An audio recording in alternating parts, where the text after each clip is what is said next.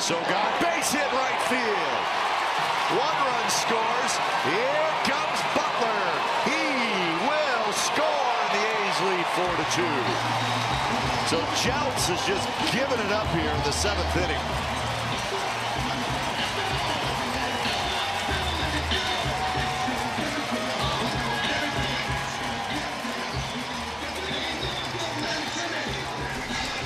Well, Eric Sogard, what has he seen all day? Off speed and out in front.